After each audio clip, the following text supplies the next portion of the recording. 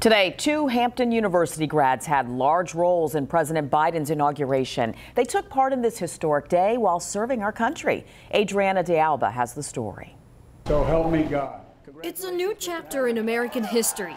Joe Biden sworn in as the 46th President of the United States, and two alumni of Hampton University got to play a role in the inauguration. It's hard to put into words. Ensign Casey Blow with the U.S. Coast Guard involved in the wreath laying ceremony at the Tomb of the Unknown Soldier. Moments before, I asked her what she most looked forward to. I think it'll just be standing before those former presidents former President Bush, Clinton, Obama, President Biden. Vice President Harris. That is that's what I'm excited about, and I can't wait to talk to my mom when I get home and tell her all about it. You know.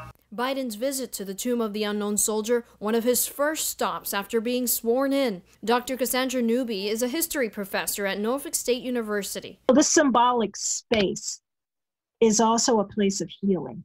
And I think that's why President Biden um, saw that as an important place to stop by and remember. It's a day filled with significant moments. Blow attended an historically black university.